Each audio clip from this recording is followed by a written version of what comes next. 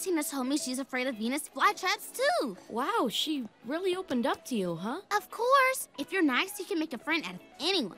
Anyway, she's really into video games. I told her all about my dad's shop. And then she said... That's enough Tina talk. It's time for our toast. On the day we became best friends, we had a cucumber slushy melt. It wasn't great, but each year we share one because it symbolizes... Hi. Bailey. Hi, Tina. Hope my gerbil named Gerbil and I aren't interrupting anything important. Ooh, that is the cutest rodent I've ever seen. Actually, I was in the middle of my speech. Oh, please continue. Friendship. It symbolizes friendship. Okay, now I'm done. Awesome speech, Grendel. Do you guys mind if I hang out with you? It's Gretel, and actually, this is our annual Best Friend Anniversary Weekend Sleepover Extravaganza. It's special for just the two of us, so. Oh, I used to have a best friend too. Until I moved here, I am all alone now. Oh, no. Well, of course you can join us. Right, Gretel?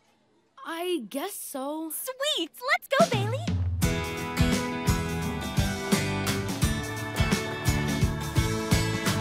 Good things always come in twos, like a pair of socks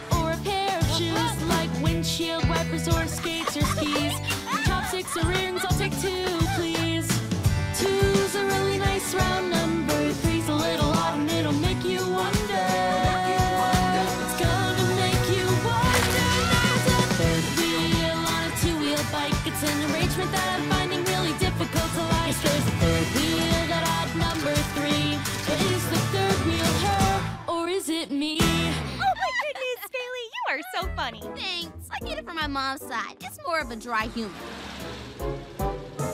Oh, looks like it's time to go over to your house for our exclusive sleepover.